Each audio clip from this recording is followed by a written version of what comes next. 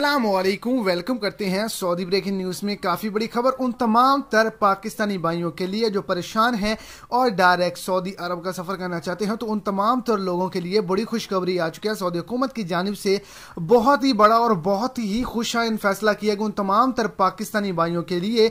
जो भी मेरे कामा होल्डर अफराद भाई न्यू वर्क वीज़ा वाले फैमिली या फिर विज़िट वीज़ा वाले हैं और पाकिस्तान के अंदर रह के उन्होंने कोरोना वायरस की दो वैक्सीन को लगवाया है। चाहे आपने मंजूर शुदा वैक्सीन को लगवाया है या फिर आपने चाइनीज़ वैक्सीन को लगवाया है तो आप तमाम तर लोगों के लिए बहुत ही बड़ी अपडेट आ चुकी है। इसके अलावा फ्लाइट्स के रिलेटेड बहुत ही बड़ी खुशखबरी आप तमाम तर लोगों के लिए आ चुकी है। आगे चल के तफसीलात आपको इसी वीडियो में मिलेगी। वीडियो को शुरू से आखिर तक लाजमी तौर पर देखें और अगर इस चैनल पर नहीं है तो चैनल को सब्सक्राइब करके साथ में देखिए बेल लाइकन को प्रेस करें ताकि फ्यूचर में आने वाली लेटेस्ट अपडेट आप तक बासानी और जल्द पहुँच सके इस वीडियो को लाइक और अपने दोस्तों तक भी लाजमी तौर पर शेयर कर दे ताकि वो भी इससे फ़ायदा हासिल कर सके। आपको बताता चलूँ कि सऊदी किंग की जानब से तमाम तरफ़ पाकिस्तानियों के लिए बहुत ही बड़ी खुशखबरी आ चुकी है, क्योंकि पाकिस्तान के अंदर तवक्लना ऐप काम नहीं करती थी। इसके अलावा सऊदी किंग की जानब से और वजारत सेहत की जानब से यह फैसला किया गया है कि जल्द से जल्द वो तमाम ममालिक जिनके अंदर तवक्लना ऐप काम नहीं करती, उनके अंदर अपडेटेड जो वर्जन है वो लाया जाए।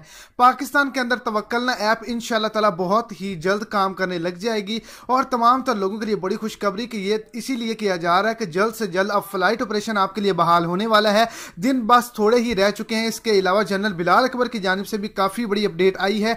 जैसे ही तवक्लना पाकिस्तान के अंदर काम करने लगे लगेगी। वहाँ पे जो भी वैक्सीन आपने लगवाई है, उसके रजिस्ट्रेशन करके अम्यून होंगे और जो लोग अम्यून होंगे, वो जल्द से जल्द सऊदी अरब का सफ़र कर सकेंगे।